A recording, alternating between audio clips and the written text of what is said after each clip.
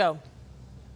The good news is that the afternoon rain washed away some of the green film that's been sitting on top of the water in this canal here behind me for the last few days. We're told the state DEP will test the water out here by the weekend. Meanwhile, mayors I spoke with today say everyone from them to activists need to keep pushing their message. When Lynn Hallaby and her husband bought their Cape Coral condo in the 1980s, they had their reasons. The water was clear. I mean, you could see the fish.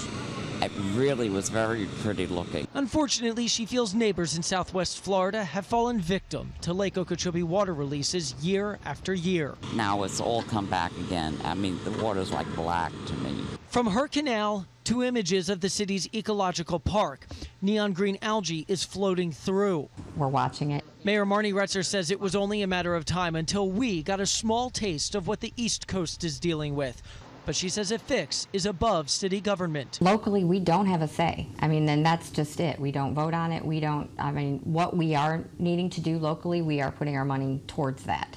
Like a fertilizer ordinance, a pending lawn watering regulation, as well as education. That we're shoring that up and making sure we're not adding to the problem. Retzer stresses the city's drinking water is safe since it runs through osmosis filtration. And the city hasn't been alerted to any dangers by the Department of Health. But as this algae lingers for days, Hallaby has a message for those in state and federal governments about a fix. Think about the people that lived here. You know, they're not making they're not making the city, you know, the place to be. They're pushing people out.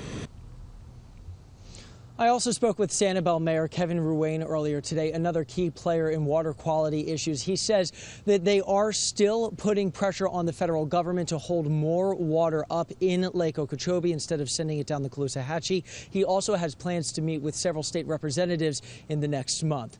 We're live in Cape Coral. Joe Roats, NBC2.